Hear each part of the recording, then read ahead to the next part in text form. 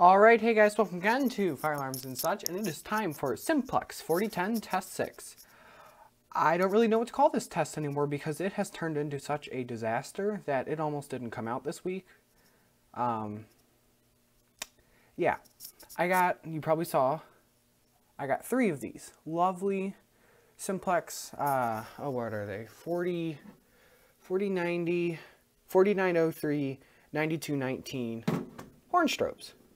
They're beautiful, they work wonderful, and you know, I had them up, and then I wake up in the middle of the night to my panel in trouble, and I'm like, huh, that's weird. And I go down, and it's giving me a short on all my NACs for these. Now, mind you, they had been up for hours and had been fine. Nothing changed. And all of a sudden just started giving me this short. And I took them down, I put them back up, I switched them around, looked at every inch of my wiring and nothing was shorting. But every time I would hook it up to the alarms, it would short. And I don't really know why. So I got angry and a little fed up and a little French. And the True Alerts are back up because it's been a while and I like them. So yeah, it was going to be these, um, but not anymore. So it's those on code 3, 30 Candela, 30 Candela. Smart Sync, so the strobes will silence. They are two-wire devices. I guess we can dive right in. We have a lot of new things on this test. Um, so I think we'll start right down here. This is my CPG 4050 211T, really crooked, pull station. I've always wanted one. I think it looks pretty cool. And then over here on a new zone is a simplex test station. Keep in mind that zone number. We got 7 and 8. Just keep those in mind. Going up, 4 and zones, I shouldn't call them zones, my bad. Points, 4 and 5 are the smoke heat detector. Coming in here, point 1 is still the smoke detector.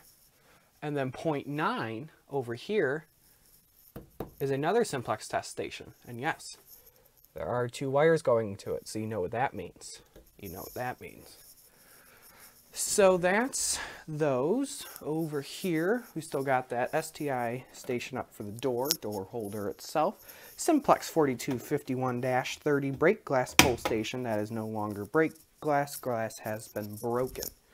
If we come around over here, we have my Pyrochem 551167 dual action push, then pull, pull station. Then if we keep going over, is a third simplex test station. And yes, even all the way over here, I mean, there's the panel. Even all the way over here, this light works. All three of them, the lights are hooked up. I also forgot, I finally got that fire alarm terminal cabinet, so there's all my terminals in there. So those are, those are there. Um, let's just start pulling, I guess. Gotta make sure I have my, yeah, I got the right screwdriver. That's good. Okay. Let's pull.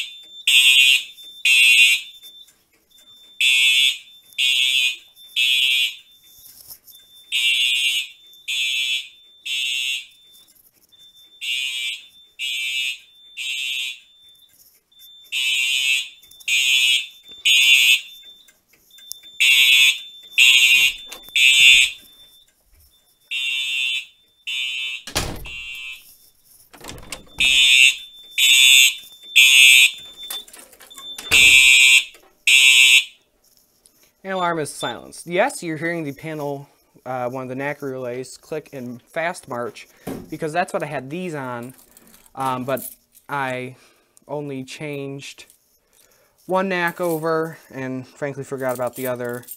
So that's still on that. We will reset this. Kind of easy to reset. You just take your screwdriver, do a few, few turns, it'll open up. You'll feel it release. There it goes.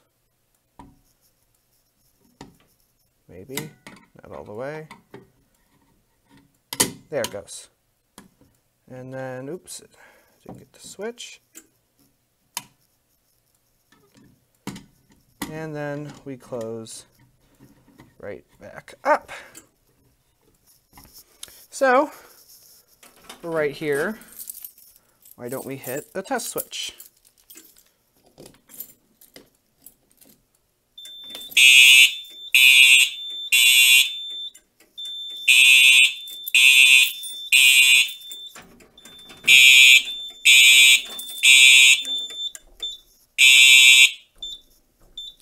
And we will put a reset in the panel. These work wonderful. They just break my panel. I am trying to find wiring diagrams for them. I haven't put too much energy into figuring out why they uh, won't go or won't work. I'm sure there's something. There's probably a jumper somewhere. They're used. I have no clue how they were how ugh, how they were set up before. So I'm sure it's an error on my part uh, because the between the three of them that I have, uh, they came from two different sellers. So it's almost guaranteed a problem on my end for not doing it right. Holy crap, we're already at six minutes. Okay, let's let's keep going.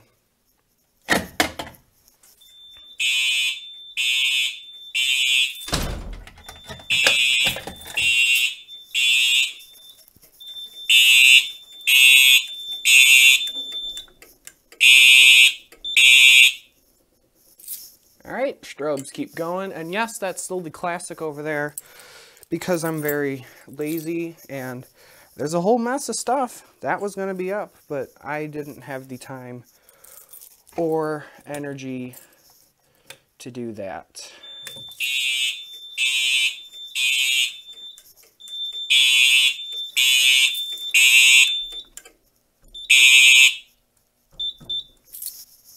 And we will throw a reset in the panel and then we'll do that pull station and then we'll do the test switch in there and then we will be good. I won't be hitting every test switch in every video because uh, the, simpl the simplex tests keep getting very long. Oh yeah, and there's another new thing. Yeah, there's gonna be a lot of new stuff and I still got more stuff on the way. Fill that back up and let's do the pyrochem station.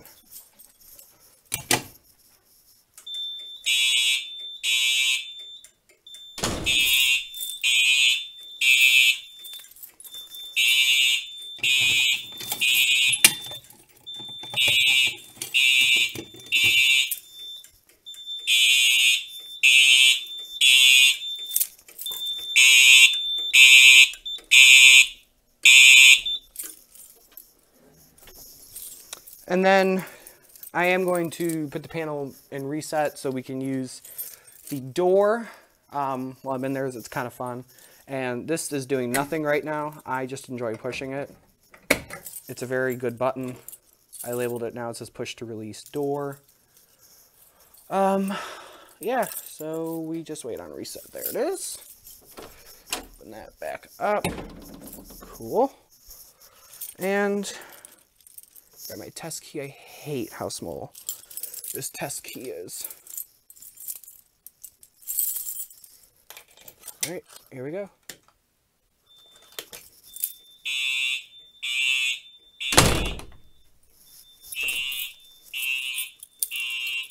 Put that back. Yeah.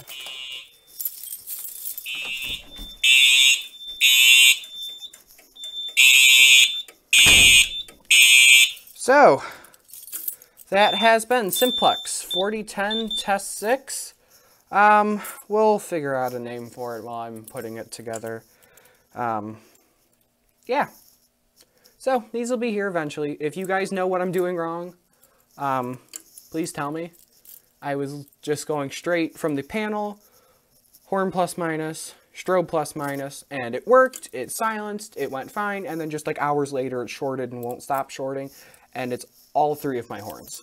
And I don't know why. So, if you guys know what I'm doing wrong, please tell me. I'm very interested because I don't know everything, and a lot of what I do, I have taught myself. So, yeah, please, if you know, if you're a Simplex tech or, you know, have those devices, please tell me what I'm doing wrong. This is a Simplex 4010. I'm running it on a um, just generic audible signal until silence NAC. So, thank you guys for watching, and as always, have a wonderful day.